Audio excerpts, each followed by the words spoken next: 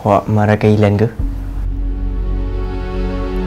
Saya sebenarnya daripada dulu lagi masa mula orang kata orang nak kahwin saya tak setuju.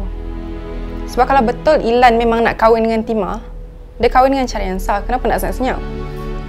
Tengok sekarang apa dah jadi. Memang apa yang saya fikir dah jadi dah pun.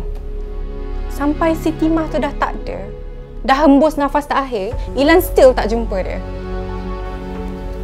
Ilan sakit. Ilan sakit. Awak cakap Ilan sakit. Hari tu saya pergi rumah dia. Sampai kena halau dengan mak dia. Depan dia, saya jerit-jerit nama dia. Panggil dia. Dia langsung tak buat apa-apa. Dia buat tak tahu je.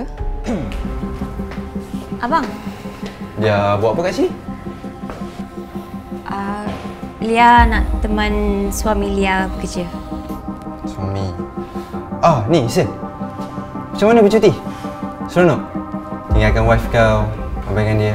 Eh, sejak bila pula kau abaikan dia? Tak adalah sebab semalam aku tak sempat nak hantar makanan kat Lia. Macam mana makanan yang hantar itu? Sedap? Ah, anyways. Lia kalau nak apa-apa, Lia call je abang, okey? Abang akan sentiasa ada untuk dia.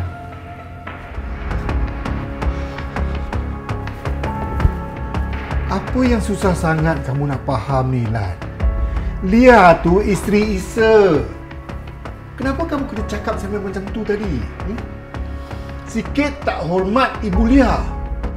Habis tu mama dengan papa kahwinkan Lia dengan Nisa. Ada tanya Ilan? Ada hormat kata Ilan? Eh, kamu sendiri yang putuskan pertunangan kamu dengan Lia sebelum kemalangan tu. Sebab itulah mama kamu kahwinkan Lia dengan Isa.